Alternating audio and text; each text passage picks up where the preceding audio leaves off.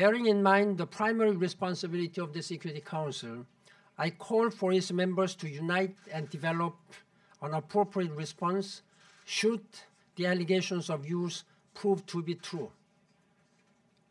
The Security Council has a duty to move beyond the current stalemate and show leadership. This is a larger issue uh, than the conflict in Syria. This is about our collective responsibility uh, to humankind. We should avoid further militarization of the conflict and revitalize the search for a political settlement.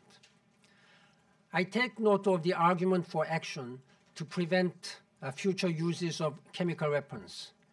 At the same time, we must consider the impact of any punitive measure on efforts to prevent further bloodshed and facilitate the political resolution uh, of the conflict. The turmoil in Syria and across the region serves nobody.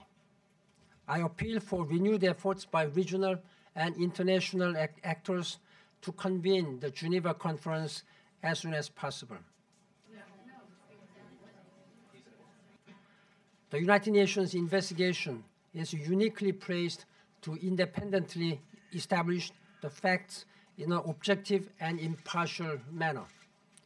Its work will be conducted strictly according to internationally recognized uh, standards.